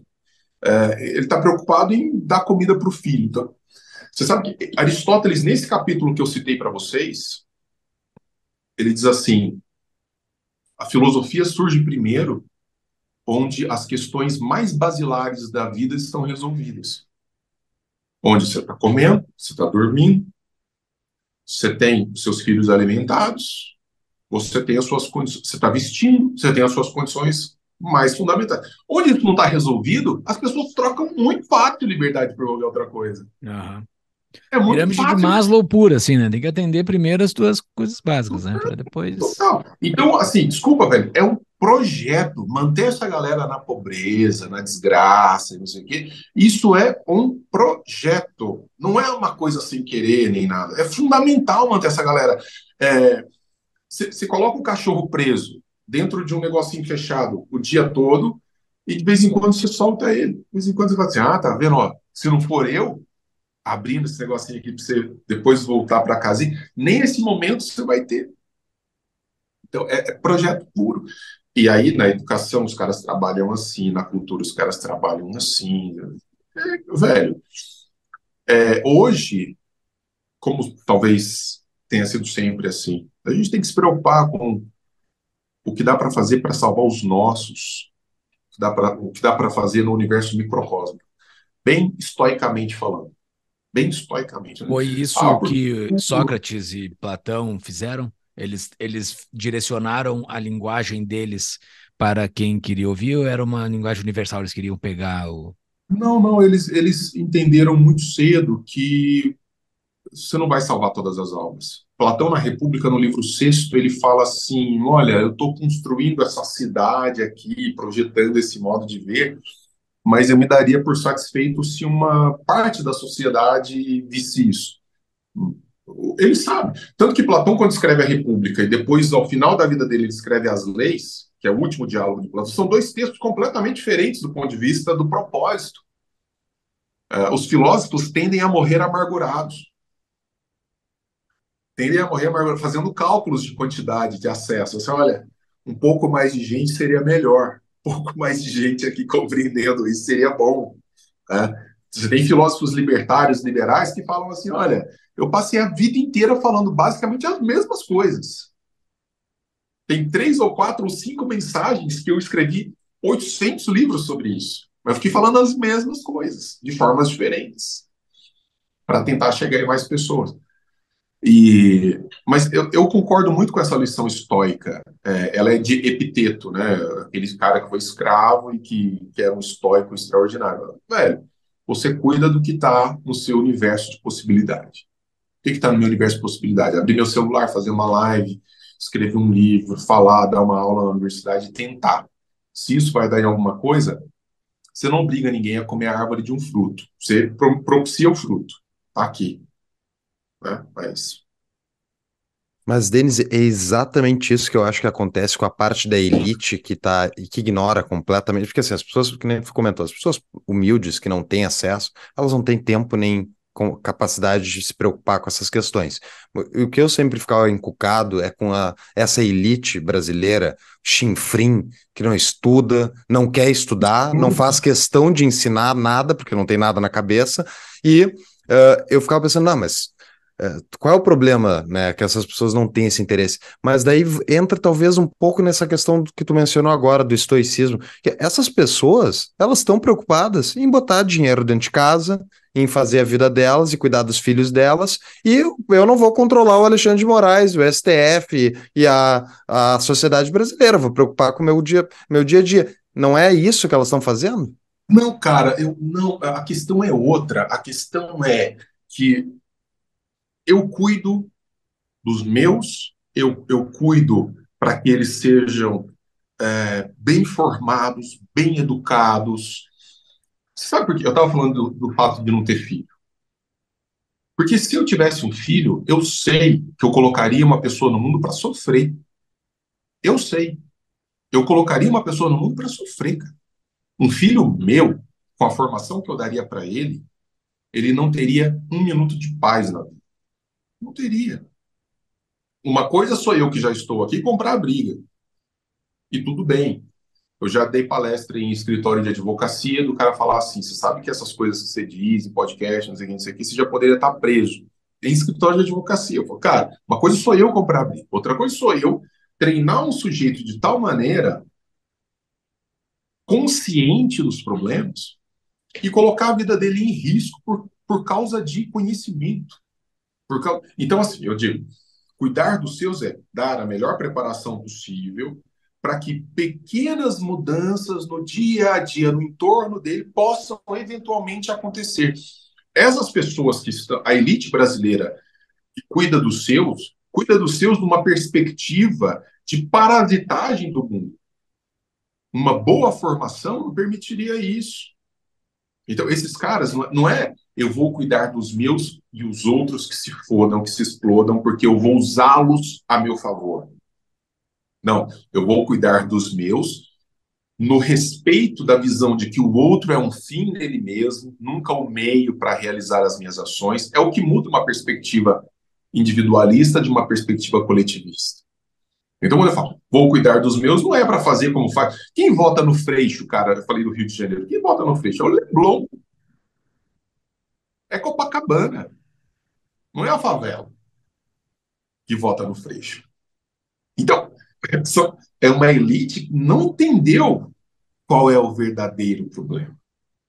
Que é a parasitagem, é a mentalidade coletivista. Então, cuidar dos seus, tratar dos seus significa trazer a filosofia para dentro de casa, trazer as leituras dos clássicos para dentro de casa. Vou te dar uma formação doméstica, porque lá fora você não vai ter. Eu hoje, se tivesse filho, eu morreria, cara, em levá-lo para a escola. E não é falar que porque é escola privada, não. Escola privada, eu tenho amigos ricos que moram em São Paulo que estão trocando filho a cada seis meses. Eu tenho um amigo que tem condições de pagar 5, 6, 7 mil reais de mensalidade em escola privada em São Paulo, está trocando a cada seis meses. Como é que faz? É angustiante. Então, é trazer para dentro de casa, formar da melhor maneira possível e entender que o mundo não é sair avançando sobre os outros, né? Como esses caras, essa elite mal preparada que a gente tem faz. É terrível, né? A gente, agora no episódio que a gente fez com a Madeleine Lax, uhum. uh, uh, teve um momento de desabafo no início ali, meu e dela, principalmente, assim, sobre o, o, jeito que é o formato da sociedade brasileira. Esse negócio de parasitagem, assim, uh, de todo mundo, né? Todo mundo quer parasitar a sociedade brasileira, não é nem o Estado em si, né? A sociedade, tá todo mundo querendo parasitar a sociedade.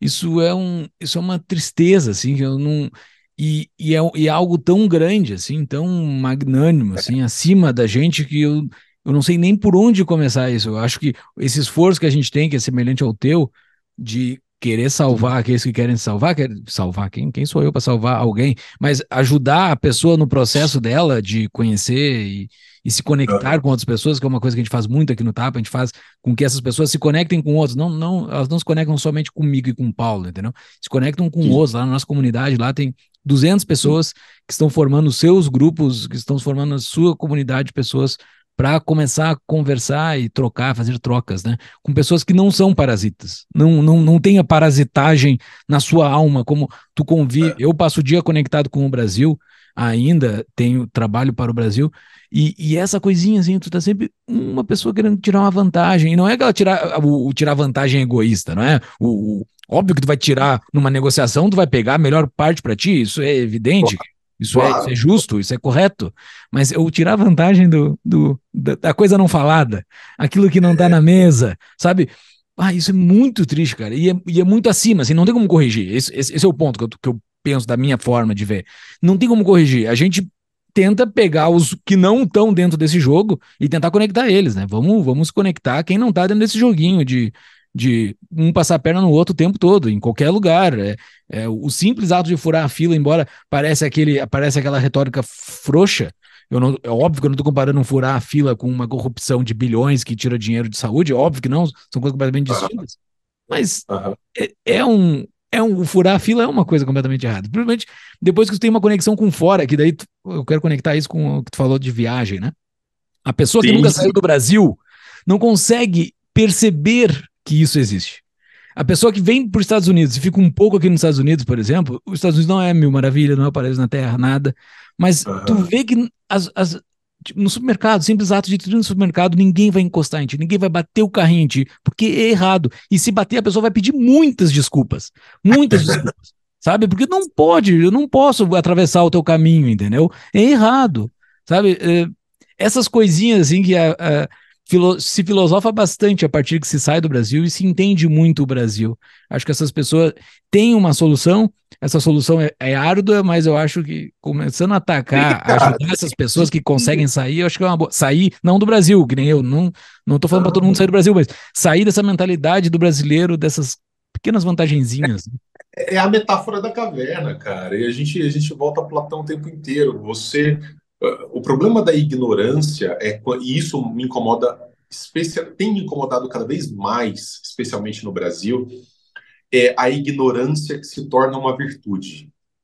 É você encontrar virtude na ignorância. E, portanto, a ignorância ela se torna um elemento de, uh, de elogio, de reconhecimento positivo, e não mais motivo de vergonha, motivo de, de reprovação, motivo de uma. É... Olha. Peguem os dois candidatos da última eleição. Os dois são extremamente é burros é, em, em, várias coisas. E todo mundo acha bonito ele ser burro. Ah, pelo menos o Bolsonaro é burro. Ah, pelo, é menos, pelo menos o Lula é burro. Os dois lados elogiam de forma diferente a, a burrice do seu. Mas os dois eram burros e, e, e, é feio ser burro. Porque é um processo de identificação, quer dizer, esses caras são líderes de, de povos ou de civilizações, eu não estou falando só dos brasileiros, naturalmente, porque eles representam um modo de pensar. Eles representam um modo de ser. Por que, que não é tão simples brin brincar com a liberdade do norte-americano? Porque esses caras minimamente entendem, mesmo que intuitivamente, o que seja liberdade. Você não pode gostar do que você não sabe. Você não pode gostar do que você não conhece. Então, quando a gente fala da elite brasileira, que em grande medida entrou no movimento liberal, mas entrou sem compreender os princípios, o que a gente fala é: esses caras estão reproduzindo um modo de pensar porque eles nem se dispõem a conhecer outros modos de pensar. Eles nem se deixam permear por outros modos de pensar. Então, é, como é que você pode gostar de uma música que você nunca ouviu na vida? Sim. E às vezes você pode até gostar daquela música que você passou a ouvir, mas sem entender os fundamentos de construção daquela música, você a abandona muito rapidamente. E é o que acontece em grande parte do movimento liberal. Quer dizer, eu entro, faço a festa, faço propaganda política e tudo, mas na hora que é para manter os princípios, eu caio fora. Falo, não é bem assim. A vida não pode ser exatamente assim dessa maneira. E aí você começa a negociar com princípios. Então, cara, é... o pior da ignorância que se torna virtude é que as pessoas passam a defendê-la é... visceralmente, como os caras amarrados no fundo da caverna. Você chega lá e fala assim: Ô, Joãozinho, tem um mundo ali fora, hein, cara? Com um sol que não é essa fogueira aí, Sabe esse negócio que você está vendo aí? São imagens projetadas no fundo da caverna, porque o negócio de verdade está lá fora passando. Ele mata o sujeito. Ele mata o sujeito. A história da filosofia é uma história de assassinato de filósofo, de filósofo no ostracismo, de filósofo jogado para os cantos. Quantos filósofos na Idade Média não foram queimados, etc, etc? O cara chegar e falar assim: é, a Terra não está no centro, não. Se tem alguma coisa que está no centro é o Sol, a gente está girando em torno dele. Fogueira. E hoje nós temos outros tipos de fogueira, outros tipos de, né, de ostracismo. Né? Você silencia, você pune, e está acontecendo o tempo inteiro. Eu só, eu quero, antes a gente para as perguntas de patrão, eu só quero uh, fazer um contraponto ao pessimismo que está reinando nesse episódio. Tá? e qual é? Eu quero ver, quero ver se vocês dizem por que, que eu estou errado. Assim, uh, eu acho que isso tudo é verdade, mas a gente, uh, historicamente, até pegando o próprio caso brasileiro, o Brasil mudou muito em suas ideias nos últimos 20 anos. Eu nunca vou esquecer como é que era o Brasil quando Lula foi eleito a primeira vez. Era todo mundo petista ou apoiador ou, enfim, fã da ideia do PT, da social-democracia e tal. Mudou muito. Tem muita gente que acordou nesses últimos 20 anos poucos em relação ao que a gente gostaria que fosse para ter o país que a gente quer, mas mudou muito a realidade brasileira. O que não mudou muito são os jornais, que continuam sendo capacho de político, uh, adorador de político em redes sociais. Antes não tinha as redes sociais, mas é a mesma coisa que tinha antes. Então, assim, em termos de ideias, eu acho que o Brasil mudou. E eu acho que não só o Brasil, mas o mundo inteiro está passando por um processo de aprendizado que a gente não teve no passado. Que as redes sociais se transformaram em centros de formação, inclusive formações erradas. Passa o tempo todo, muita fake news, blá blá blá, mas tem muito conteúdo bom. No Tapa a gente faz post lá semanal que a gente faz, bom, vamos fazer um post em colaboração com um patrocinador nosso. Não dá para botar propaganda, propaganda ninguém quer ver. Agora dá para pegar, por exemplo, um livro e botar ali em três, quatro posts, explicar o conceito do livro e daí botar o CTA para o cara e pro, pro, pro né, patrocinador. Isso era uma uhum. coisa que não existia, o tapa não existia há 20 anos. Então, assim, são razões para a gente pensar assim: olha, se a internet está só no começo e ela está só no começo, e a informação disseminada é muito difícil de ser parada, eu vejo razões para a gente ter otimismo com o futuro com essa disseminação de informação. Cara, eu acho que a gente não faria o que a gente faz se a gente fosse pessimista. Perfeito. Eu não faria o que eu faço se eu fosse pessimista.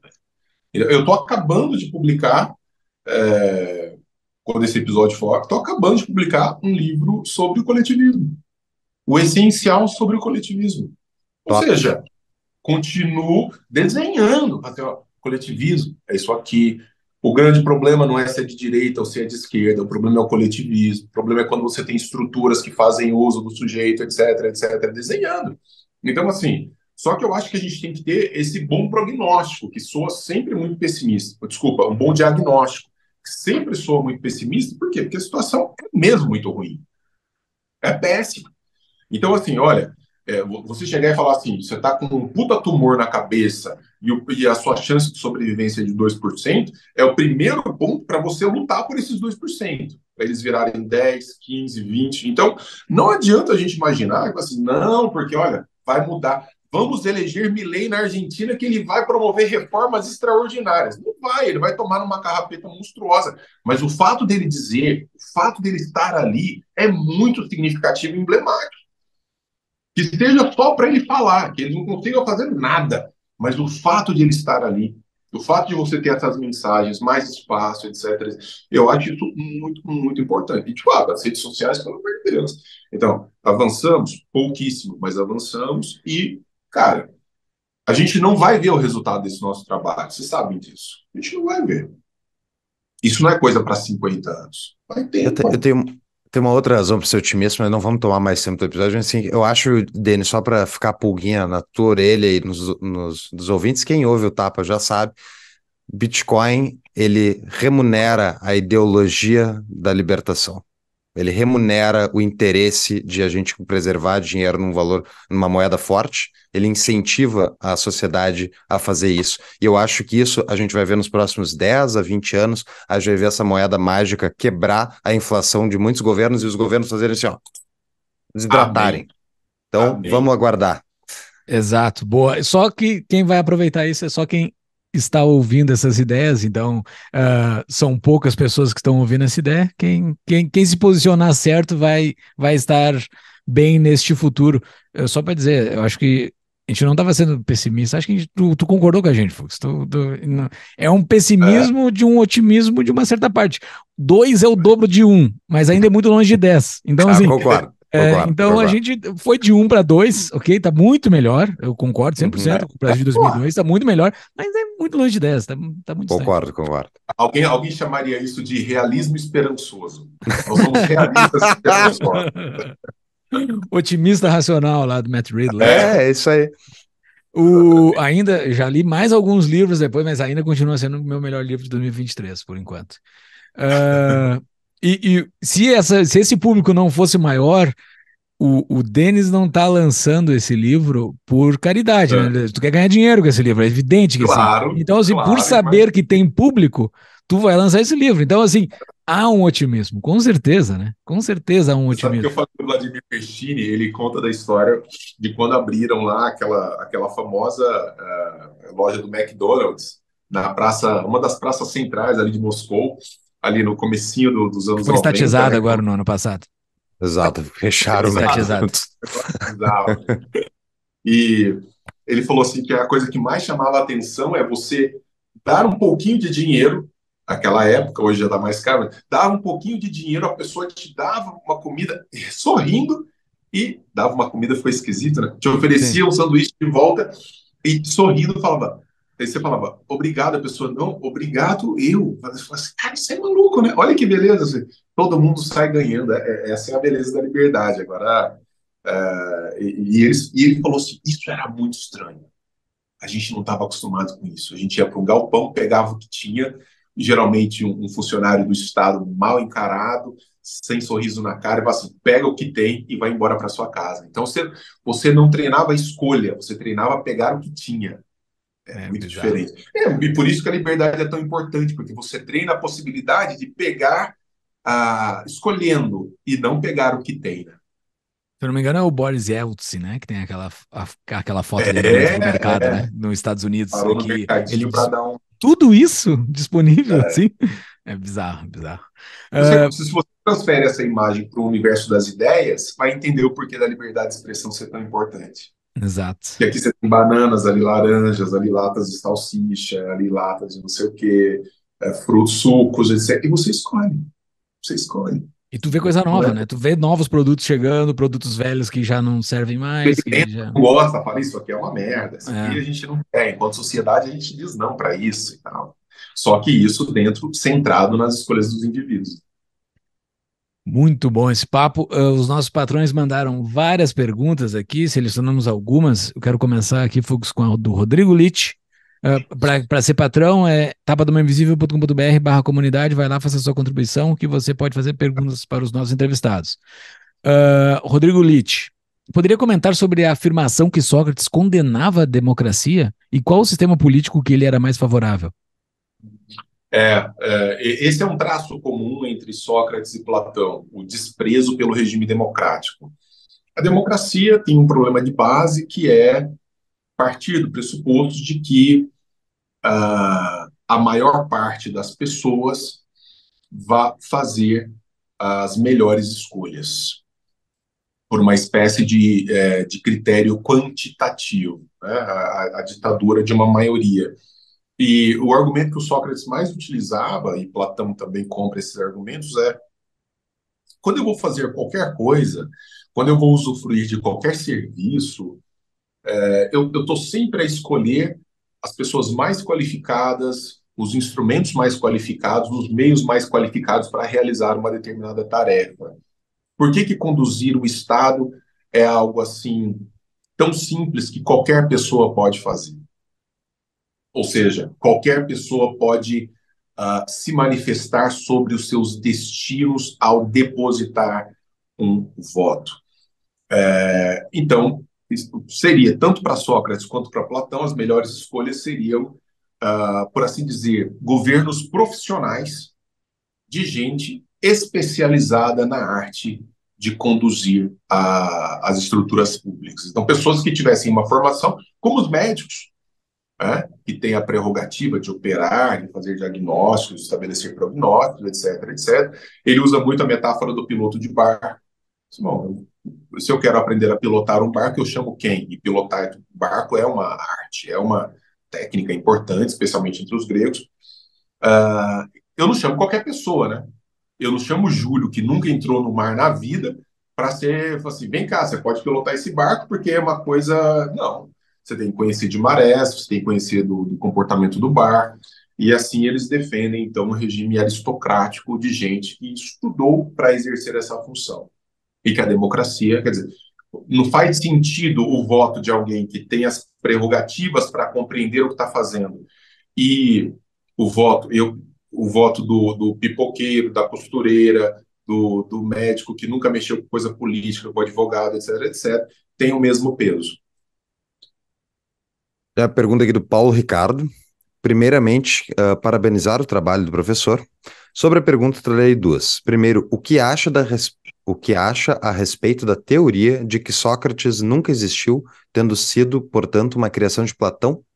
É, isso ele tem razão que durante muito tempo houve isso que é chamado de a questão socrática, assim como existe ainda hoje a questão homérica, porque por exemplo Homero, nós não temos certeza de que Homero tenha existido de fato. Hum. A, a, atual, uh, uh, o atual estado das fontes não permite afirmar de maneira absolutamente segura e evidente que tenha existido ou não existido. No caso de Sócrates, já está muito tranquilo, está pacificado no mundo da pesquisa. Por quê?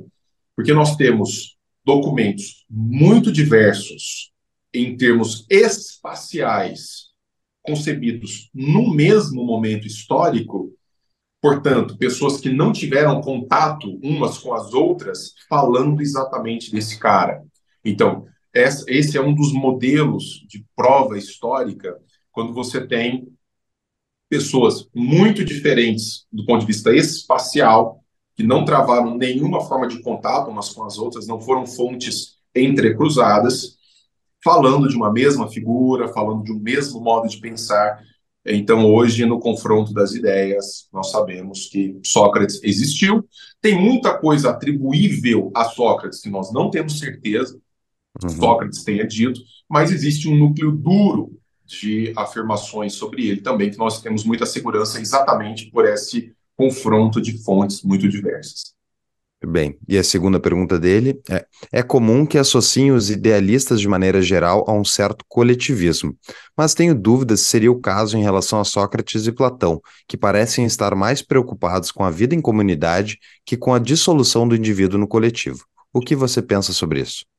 O, tanto Sócrates quanto Platão, quanto Aristóteles, eles entendem a importância da vida em sociedade, eles entendem a importância da vida na cidade, a vida na polis, mas em nenhum momento eles estão dispostos a rifar as liberdades individuais em nome da vida na cidade.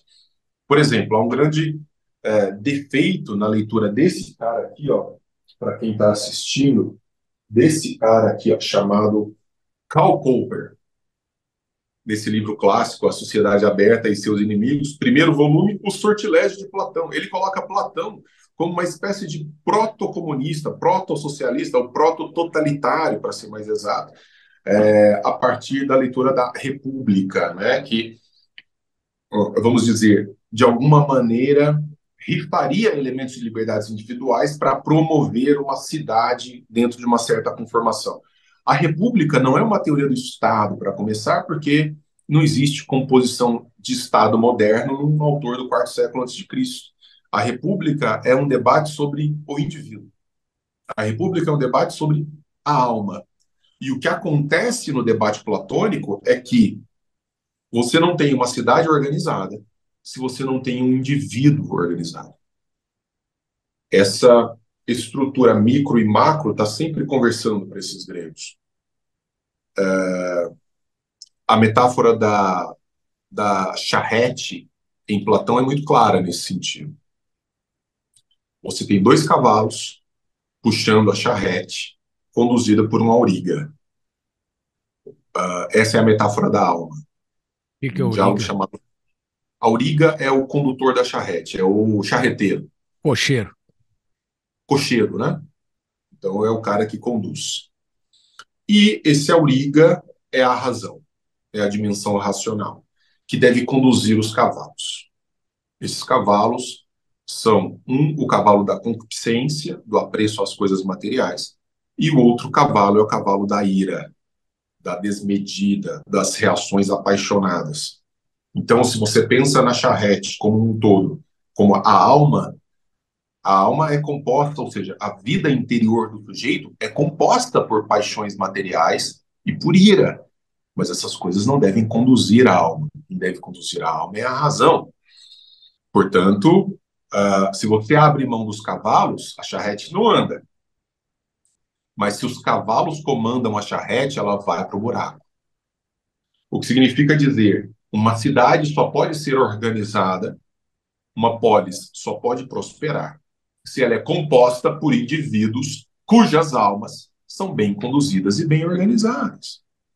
A mesma coisa, o Aristóteles, esse caso foi uma imagem de Platão. Aristóteles tem uma imagem que é: nós somos todos seres ocupando espaços dentro de uma nau, dentro de uma uh, navega dentro de um barco, dentro de um navio. Essa é a vida em sociedade todos nós estamos preocupados com uma única coisa: a salvação da equipagem, a salvação do barco, que ele chegue bem em algum lugar. Então, o que, que nós temos que saber interiormente, individualmente, mais ou menos, para onde a gente está indo? Qual a nossa função? O que, que a gente faz melhor? Então, há uma dialética constante entre os elementos da vida do indivíduo e os elementos da vida em sociedade. Platão, Aristóteles, Sócrates nunca rifariam o indivíduo em nome de uma vida em sociedade e, portanto, numa visão que autorizasse alguma coisa próxima de fascismo, comunismo ou coisa parecida. Boa. Tem a pergunta do Leonardo aqui. Sócrates foi condenado à morte por desafiar o status quo e buscar a verdade. Na sociedade atual, vemos um fenômeno similar com o cancelamento de pessoas que perdem empregos ou suporte financeiro por suas opiniões em busca de verdade, da verdade. Diante desses paralelos, qual você acredita ser a melhor abordagem? Confrontar o sistema diretamente ou focar na salvação individual? A gente já falou um pouco sobre isso, né? Mas a pergunta ficou mais completa. Uh, olha, a questão da morte do Sócrates dá um episódio inteiro, tá? Porque é um elemento muito complexo para você entender o fenômeno como um todo, o que que levou. O que eu posso dizer é que a morte do Sócrates foi um elemento extemporâneo, inclusive do ponto de vista, quer dizer, a morte acontece muito em função da postura do Sócrates durante o julgamento e pela estrutura judiciária utilizada naquele momento.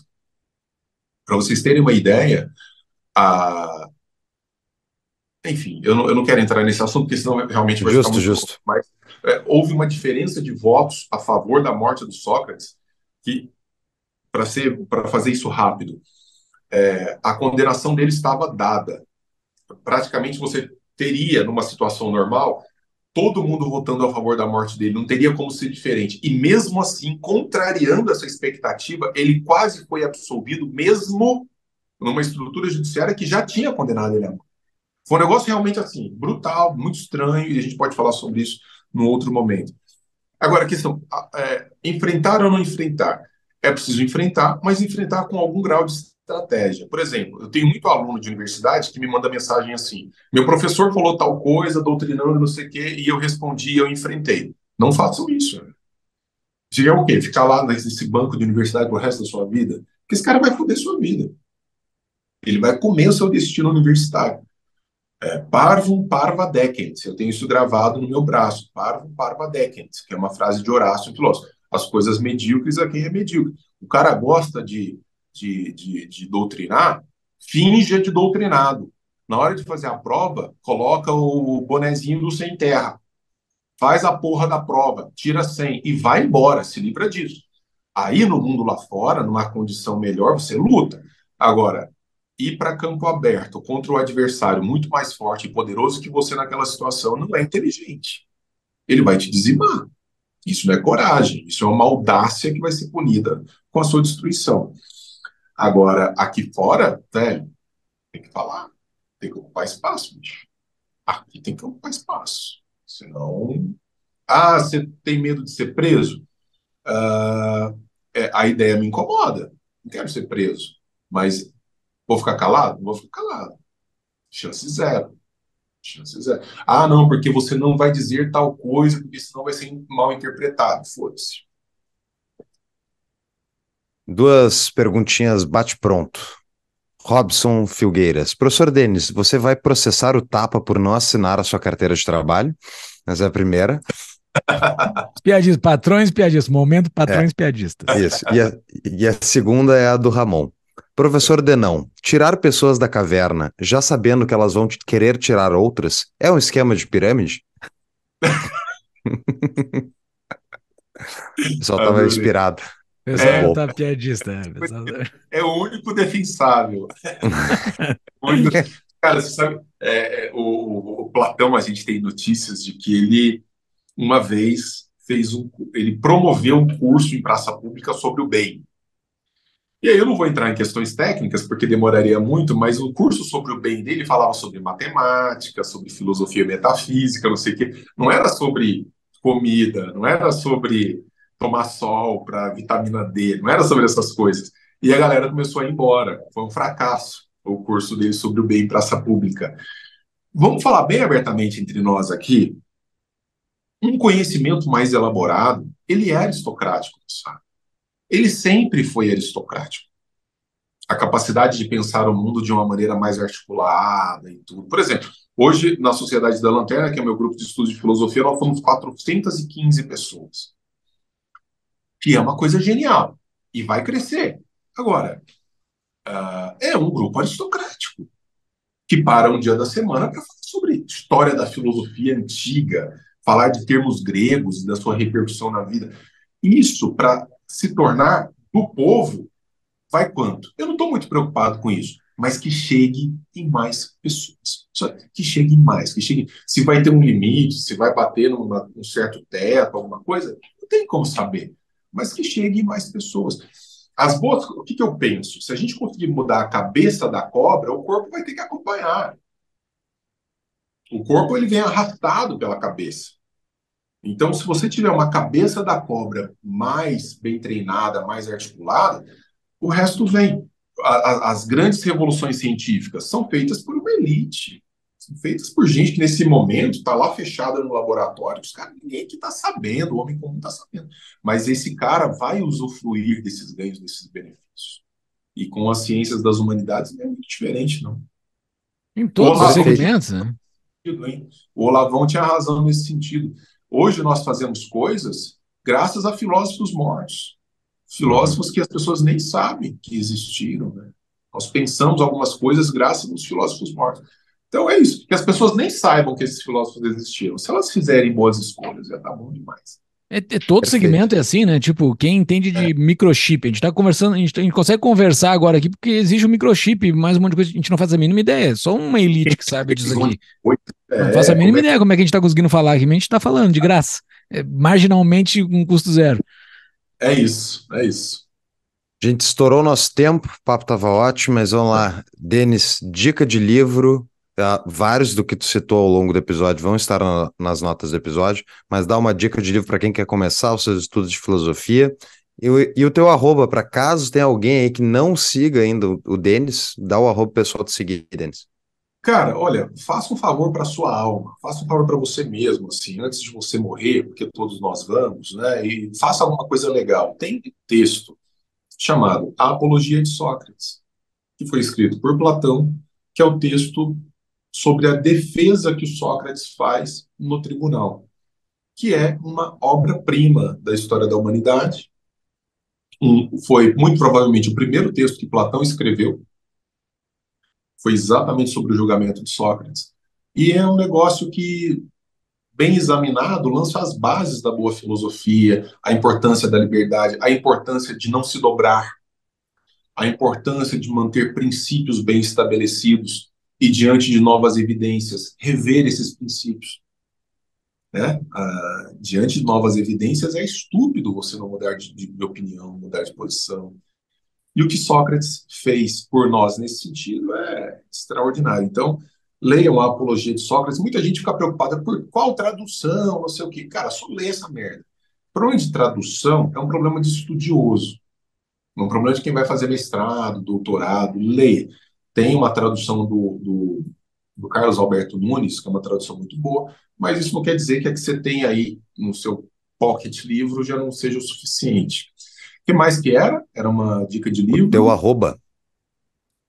prof.denis Xavier, com dois N's, Y, S. Denis Xavier, com X. Só tem esse lá, nenhuma mãe foi tão criativa na hora de dar nome.